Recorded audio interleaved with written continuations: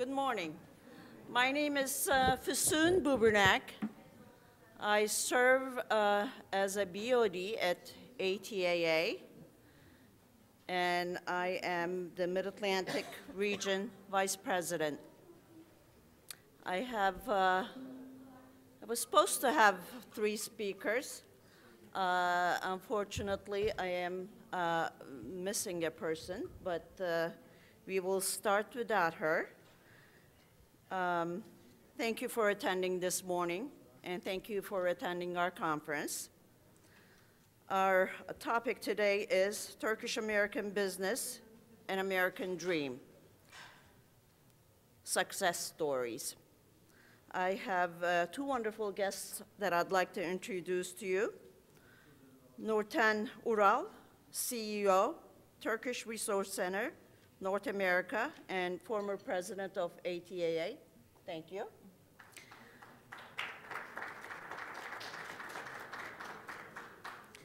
And uh, Jennifer Miel, Executive Director, U.S. Turkey Business Council. Thank you, Jennifer. Um, I'd like to start uh, with Nurten Hanım.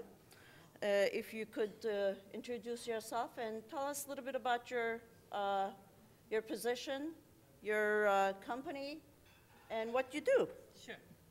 Uh, my name is Nurten Ural, and I was born in Turkey but came to the United States when I was three years old with my family. Oh, it's not on.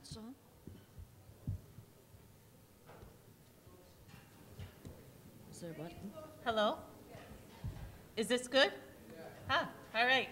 Uh, as I said, I was born in Turkey. I came to the United States when I was three years old, and of course grew up here and went to school here. I uh, went to school for interior design and had started my own business right after I uh, came out of school. I worked eight months for a company and decided that I can do this much better on my own and started my own business. Uh, and for 32 years had my interior design business. Uh, after uh, Yalçın Ayaslı and Turkish Cultural Foundation had asked me to help them out with a project that they had, uh, which was taking Americans to Turkey on tour. What better job than go to Turkey and go on tour on vacation uh, with these uh, people that we find in America.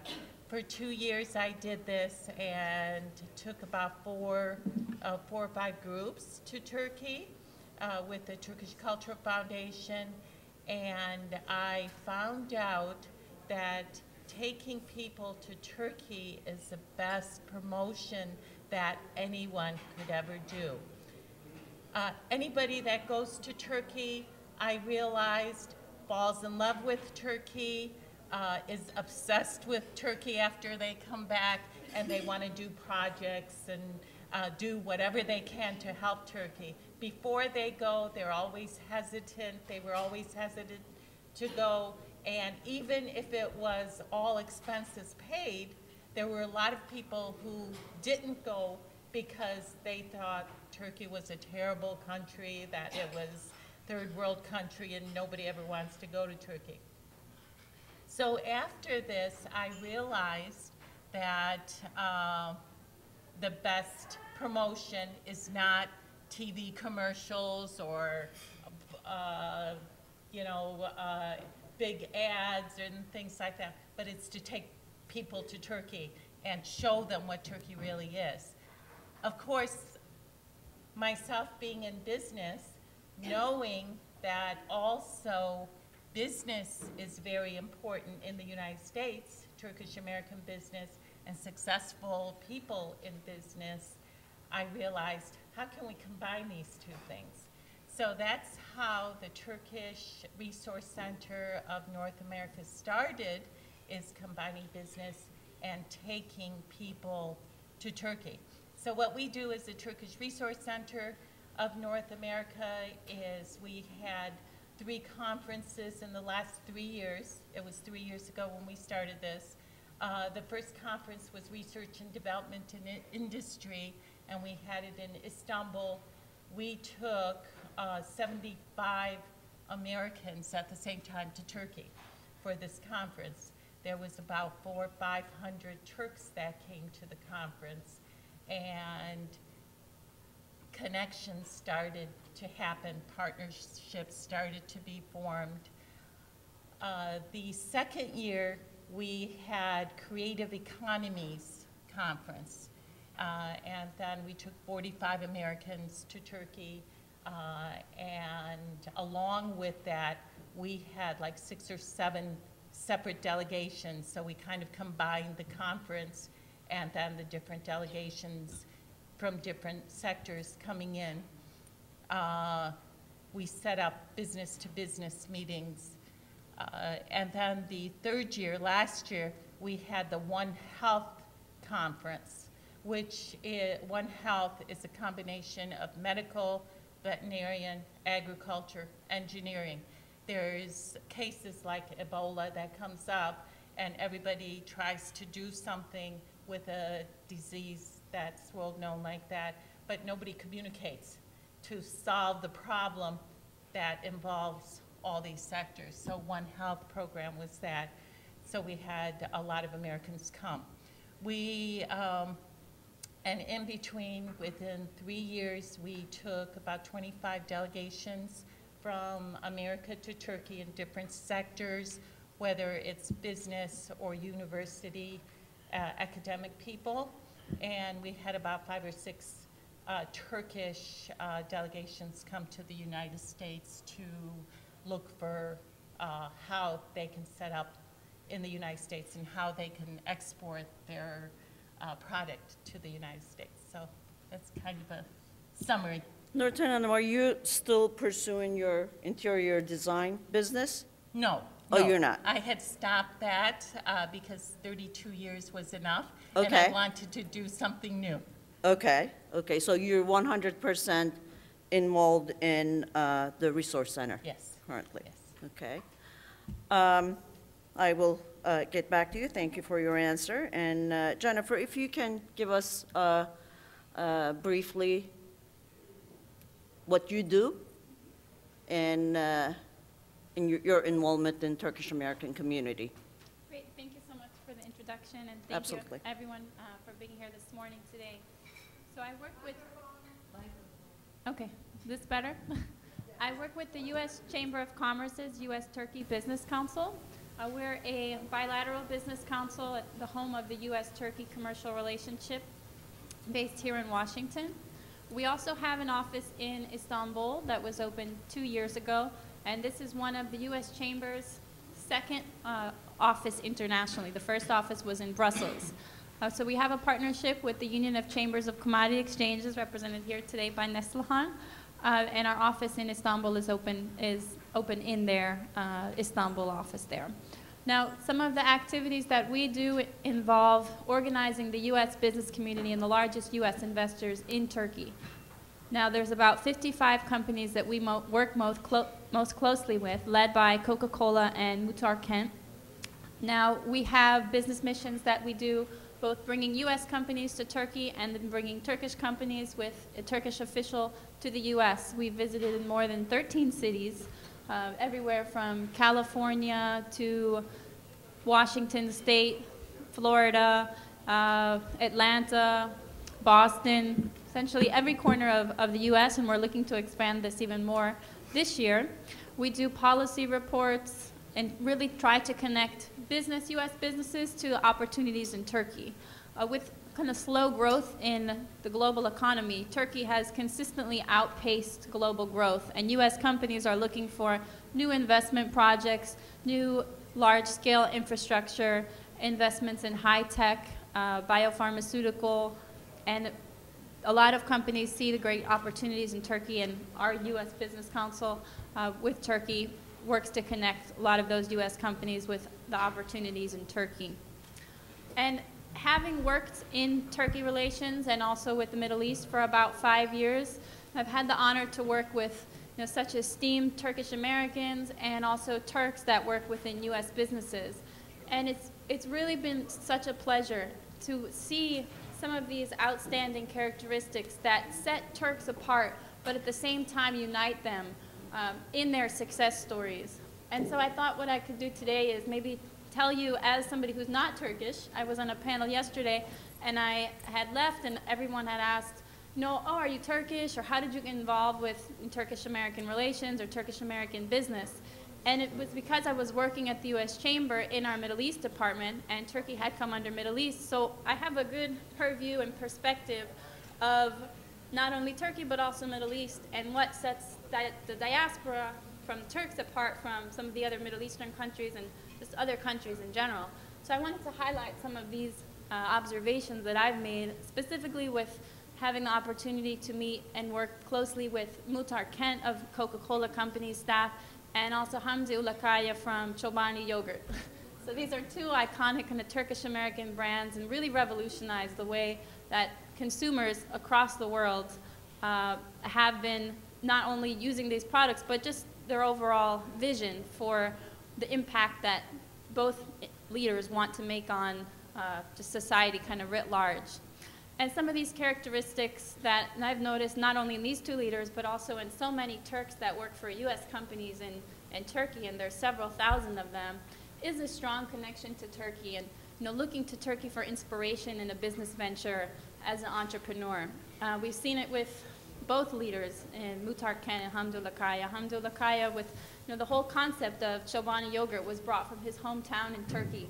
And this is a great entrepreneurial success story that so many Turks can look to inspiration from, from their home and their culture and bring that to the United States and other parts of the world and build a successful business venture around it. And Muhtar Kent similarly, similarly did this with the Coca-Cola company. He started working in, in Atlanta, but lived between Atlanta and, and Turkey as he was working his way up uh, the company. He started from managerial training and know, he ended at the very top. Today he's CEO and, and chairman of the company.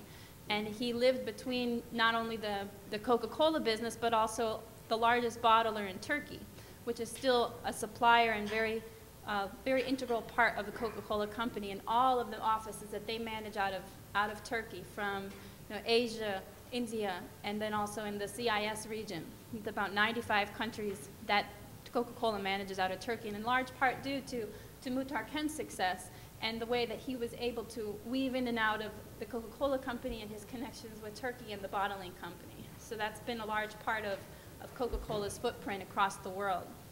And the second characteristic that I've seen a lot of Turkish Americans and Turks that work for U.S. companies is very strong family values. Uh, and this was also represented in both of these leaders' success. Uh, Kent's father had played a huge role in his life, uh, and having him have this compelling vision uh, of what he wanted to do within the Coca-Cola company and create meaningful experiences uh, for consumers and for clients and for family alike and treat everyone like they were his family. And same thing for, for Hamdi Ulukaya Chobani Yogurt. It was his family that pushed him to start this business and to bring, uh, it was white cheese and the paneer uh, that they have in, in Turkey to the United States and then eventually to start a yogurt business that his family, who had been uh, farmers in Turkey, to bring that to a, a, consumer in the United States that hadn't, hadn't tried that before. And then, of course, it's you know, Turks that are so entrepreneurial and innovative. And it's like living in Turkey gives you this perspective of innovation and you know, having to work in small businesses. And to see that constellation of businesses that make up Coca-Cola, so many small companies that are contributing to its success and the same that you see with the Chobani yogurt success story. And another was a compelling vision and a clear product and, and goal for both companies, that they want to make not only an impact on their own bottom line, but an impact for, for social consumers and for just the overall uh, good cause and a lot of the social, corporate social responsibilities that both leaders are very much involved and leaders of, of the community and not just of their own businesses, but they see the impact that they can make on society writ large far beyond their sales. And they also have in both companies innovative kind of incubators. So they're looking for the next big idea and they give opportunities to women especially to try to work them up the ranks and get them better integrated in, not only in their own companies, but also in the larger business community. Uh, So those were the main things that now I've seen, not just in these two leaders, but also having the privilege of working with so many talented Turk, Turkish Americans and also Turks that work for American companies in Turkey. So thank you. Thank you, Jennifer.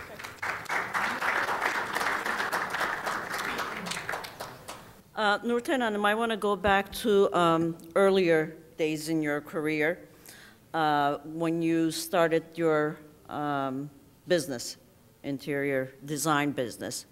Tell us a little bit about uh, how you made that transition and what were your challenges in those days.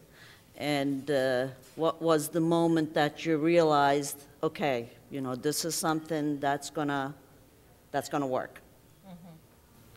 Well, in the earlier days, after I graduated with my, uh, well, first of all, I wanted to become a fashion designer. That was my goal since I was five years old. Uh, Well, did we not all, as all growing young girls? Right, and I did apply to the New York Institute of Fashion, and I got accepted. I went to orientation. I was 18 years old, from Michigan going to New York. Uh, had never been out of my house. After three days, I said, I cannot live in New York. I'm, I'm uh, used to living in a little suburb where there's no people, no uh, big buildings, etc. So I went home and uh, uh, the, and uh, I had a scholarship uh, from Michigan State University, so decided, okay, I have to go to Michigan State University. Uh, the next best thing, the only other thing was interior design, so that's how I got into interior design. Uh, and then uh, I got a job in a company called Shaw Walker Company, which was a furniture manufacturer, and then uh, worked there for eight months as an interior designer in their office. Uh, and then I decided, well, I'm going to go to architecture school. And went part-time to architecture school, and to support myself, I decided, you know, my parents can't be pay- paying for me the whole time. Uh, so I started doing side jobs in interior design, and my side jobs kind of took over, and then that's how my interior design business started. Uh, and when I started my interior design business, uh, of course, we did commercial interiors, and most of that was not really interior design that I learned in school. It was business, it was construction. You had to deal with all these uh, construction people. And the challenges in that position was uh, construction people did not want to deal with a 23-year-old young lady. They thought, uh, you know, what does she know? We're not, you know, we're here, big, strong men.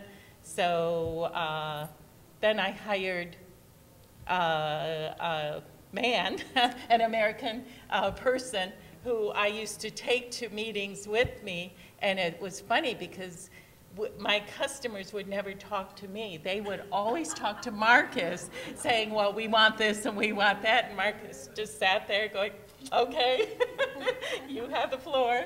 Uh, so that was one big challenge. Being a woman in interior design was a woman uh, business, but I think commercial interior design was more of a man's business.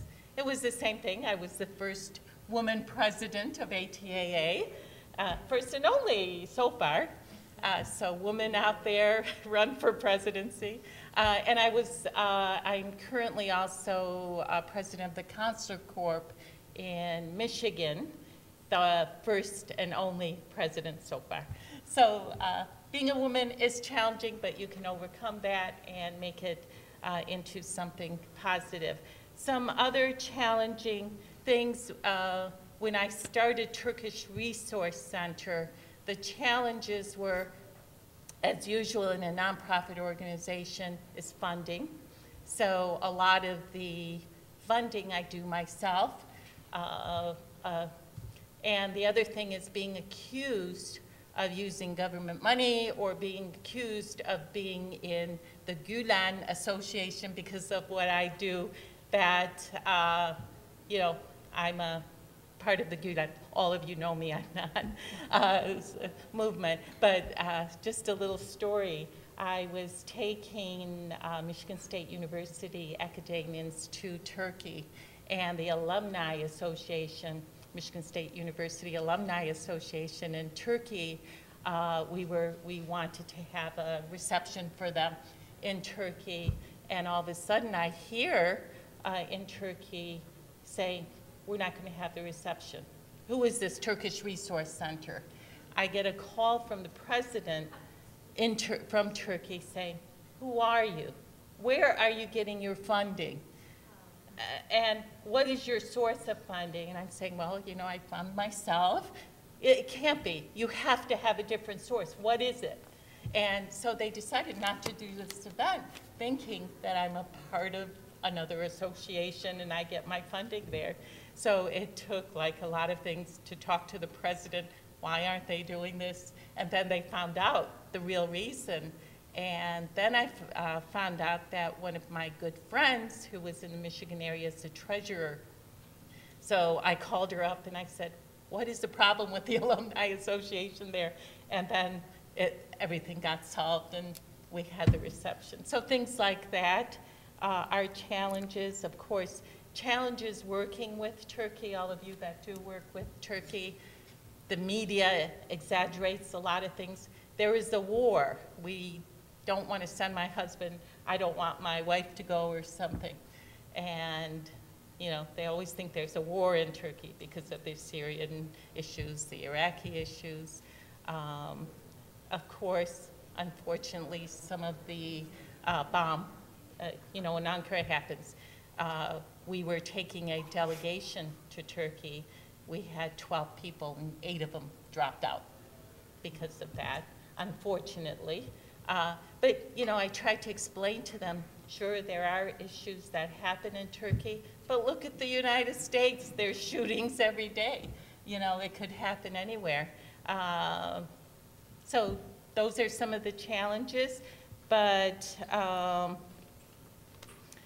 uh, the uh, earlier days, of course, uh, the reason I started uh, the Turkish Resource Center is because I said we need to take to pe- people to Turkey, and of course, my expertise in business I've had for 32 years, and also all the nonprofits that I had worked in uh, prior. I wanted to combine the business and uh, promoting Turkey at the same time, so that's why we did the Turkish Resource Center.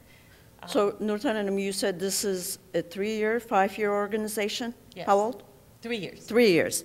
Uh, How did you, where did the inspiration come from? That, okay, I'm gonna, uh, you know, stop my 32-year-old interior design company and I'm gonna move on to a nonprofit, I presume.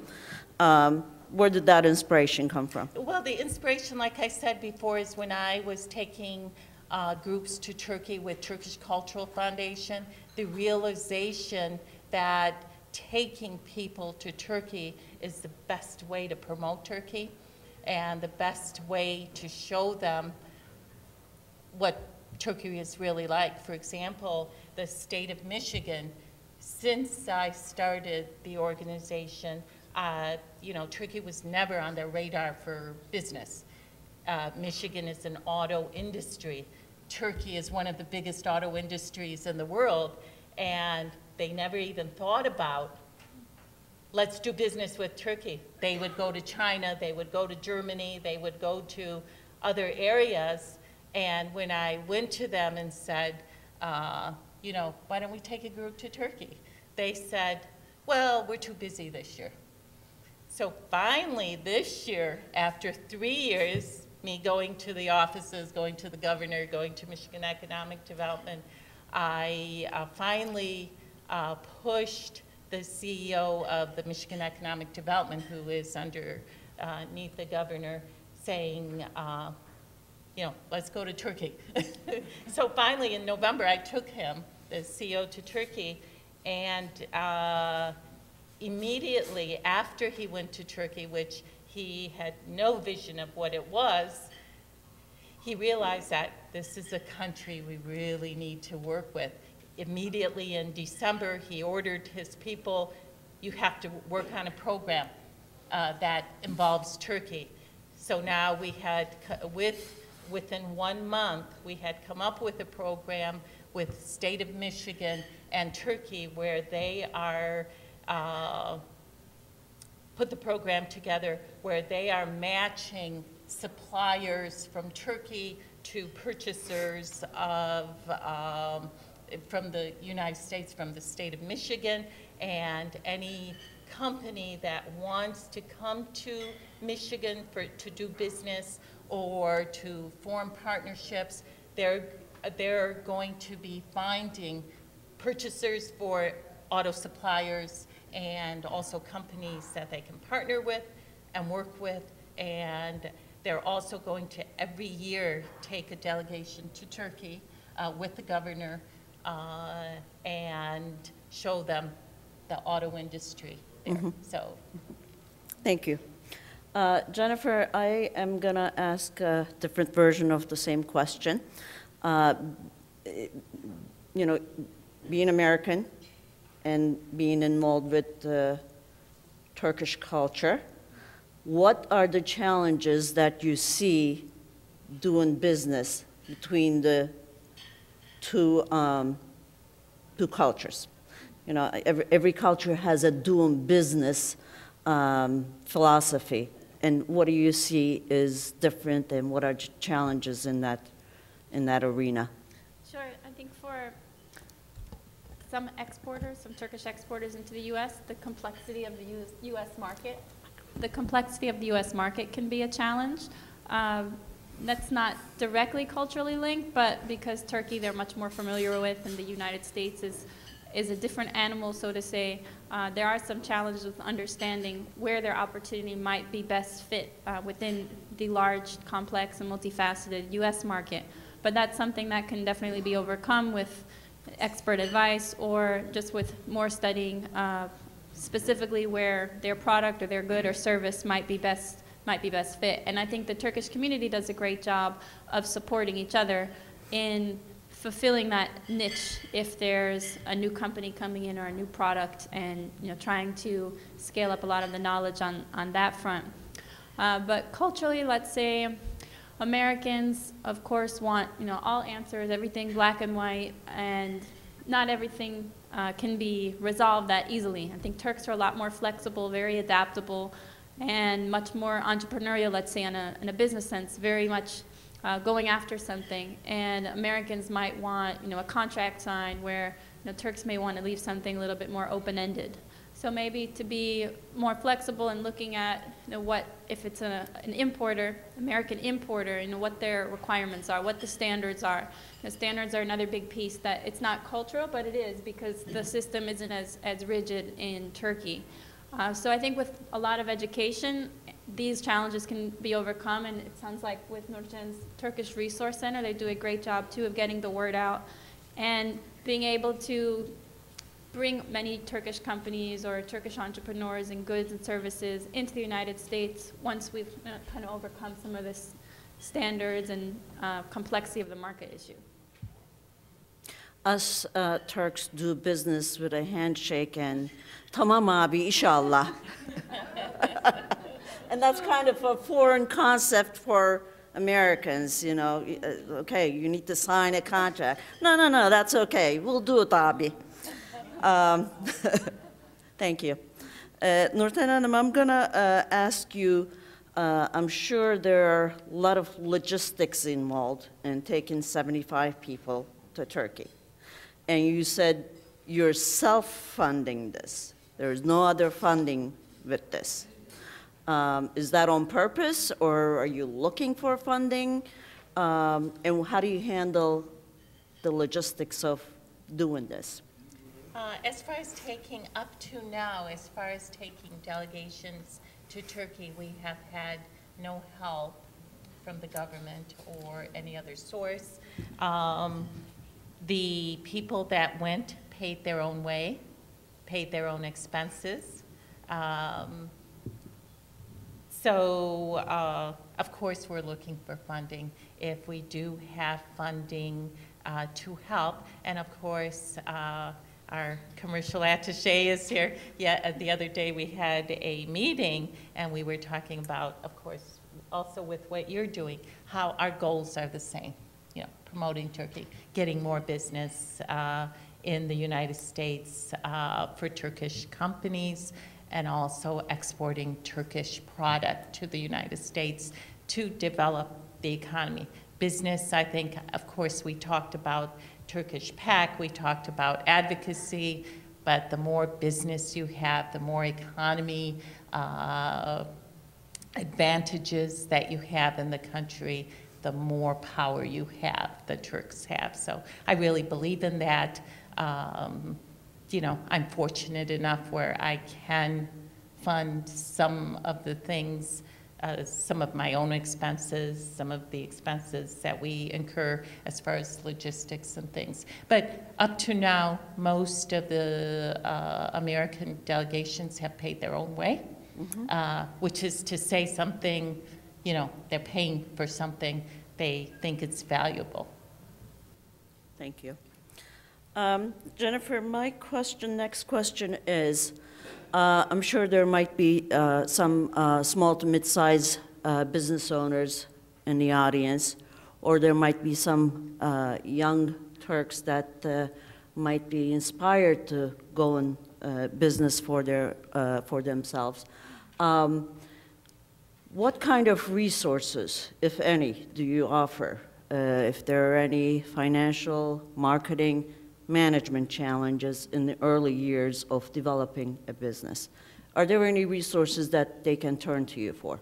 Sure. So uh, within the U.S. Chamber of Commerce, every year we host a small business summit at the U.S. Chamber, and this provides a lot of capacity building for smaller companies, connections, great networking platform for them to meet with other business leaders in the small and medium uh, enterprise network, and also looking towards international opportunities because so often in the United States, SMEs are focused on the domestic market.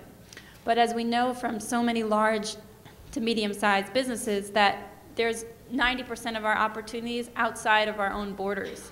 So I would encourage a lot of smaller entrepreneurs and startups to think globally because that's where so many opportunities are. Uh, the connections can be made through different business missions that the U.S. Chamber offers, Nurcan offers to, to Turkey and other organizations as well, because once you're on the ground and you see a lot of these opportunities, the world is, is really yours, uh, especially if you have a valuable product or a service that's needed in that market. Uh, we've done over 10 business missions the last couple years to Turkey, uh, to Egypt, to Saudi Arabia, to Bahrain, uh, UAE, Qatar, and invariably on these business missions, we have greenfield investors or entrepreneurs that have done no business in the market, but they see the opportunity. They've read a lot about Dubai, they've read a lot about Istanbul, and they want to see for themselves. And by attending one of these missions, it's an investment. There's a small business uh, rate, so it's, it's, I would say, a lower barrier to entry. But by attending one of these business missions, you can see for yourself what the business opportunity is, make valuable connections, and also be able to better craft your, your product to a global audience. So for a lot of the entrepreneurs that are in the area, you probably already are thinking globally because you have a strong connection to Turkey.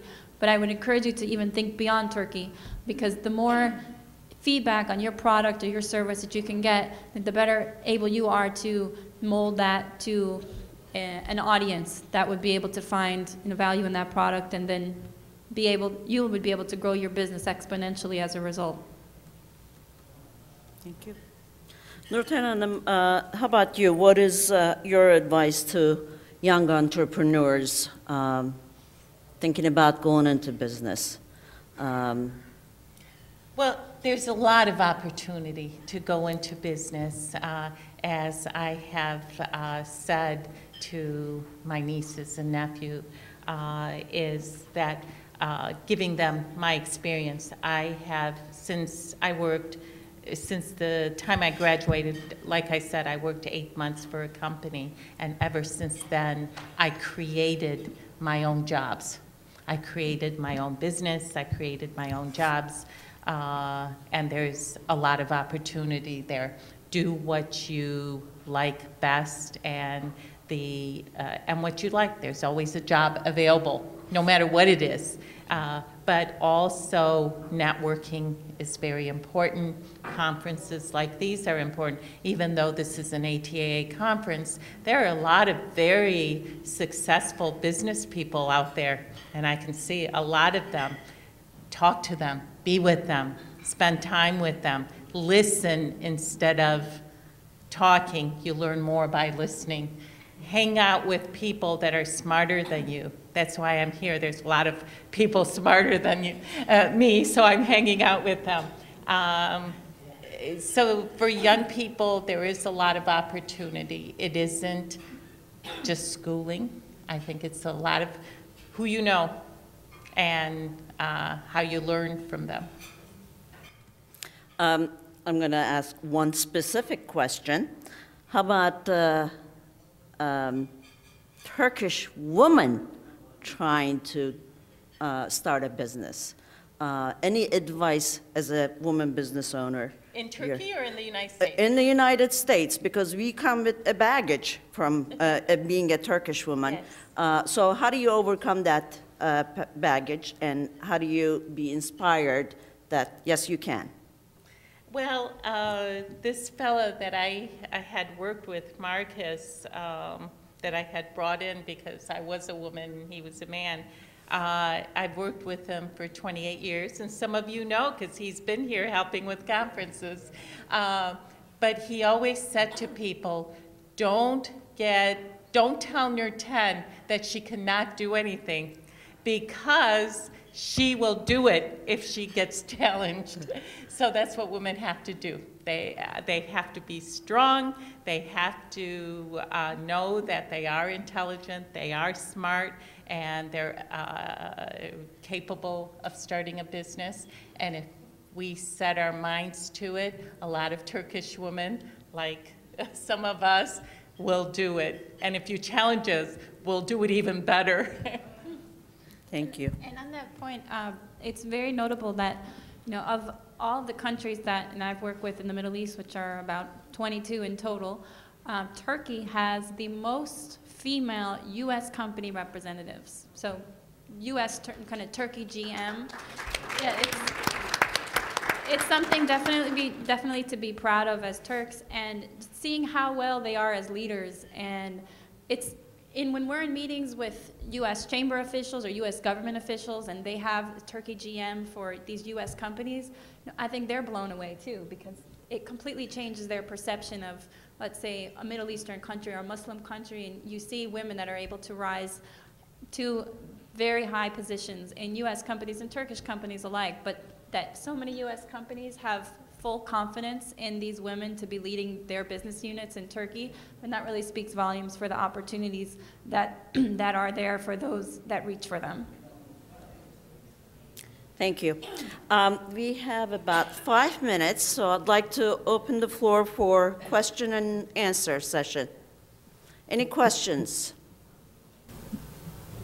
Well, actually, my, it's not a question, it's a comment. Okay. Nurten, while she was president of ATAA, You want a microphone? okay, let me get a microphone. Right there?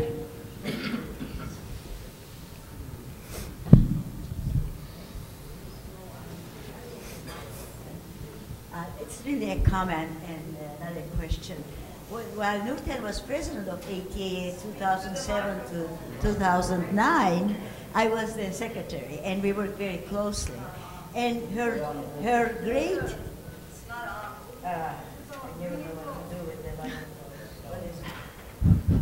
But just closer. Oh, okay, okay. Well, Nurten was president of ATAA, the only woman president, 2007 to 2009, I was the secretary and we worked very closely.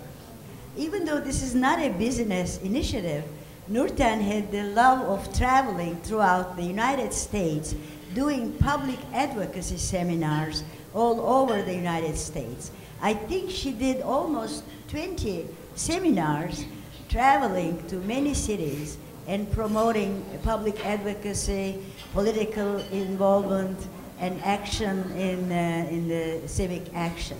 So I just want, this is a comment that her lore of uh, traveling and doing things for Turkey started in the United States and moved on to business. Thank you, Oyana. Any other questions or comments? We're good? Everybody is hungry, so you don't want to ask any questions? I'll try using, not using the microphone, but what are the commonalities and the differences that you see between the doing a business in Turkey versus doing a business in the United States? Any particular? If they can, we'll take a couple minutes of this. Okay. Um, I think uh, there is a lot of commonalities, of course, and, but there are differences in the business culture of both uh, the United States and Turkey. And I think that could really be a detriment to some businesses that do uh, business either place. For example, uh, when uh, before I started uh, Turkish Resource Center, I was involved with uh, Standard Taxi that was in the Michigan Detroit area. They had called me because I was the honorary consul general, and um, they wanted to do build taxis. And some of you may be familiar with this in Turkey. And Standard Taxi uh, went to Turkey to uh, get these taxis built. But for some reason, because of the business culture differences, Turkey did not get the job. This was like a $40 million project. So I think, uh, and one of the things that we do in the Turkish Resource Center, because I work with Michigan State University a lot, we work with a lot of uh, universities, but especially Michigan State University in training uh, Turkish business people, Turkish academics. Uh, we talk a lot about cultural differences. If you're going to Turkey, when in Rome, do as the Romans do. When in the United States, do as the United States do. So in Turkey, there are certain things that you do. For example, Turkish people do not like to get to business right away. You have to be social, you have to talk to them about their children, you have to go have meze and rakı, and it drives Americans crazy sometimes because they want to go in, they have one hour, and they want to talk business. Uh, but Turkish people don't do that, as we know. right. And then coming here, uh, you know, the, uh, they say, American people say you have half an hour, that's all the time I have. Tell me Get to the you know." business. Get to business. Get to business. so that's kind of some of the differences, if that helps. Well, I want to thank uh, you, first of all, and I want to thank my lovely guests here. I appreciate your time, and thank you Thank for you. being here. Mehmet. Thank, thank you very much. I would like you guys to know, I'm truly proud of you guys. I really am. Thank you. And, and, uh, and Lieutenant, Miss Lee Emily, I don't think I'm pronouncing her name, uh, Jennifer? Jennifer. I hope you connect, continue with us in communication, so thanks for coming. you. Thank you.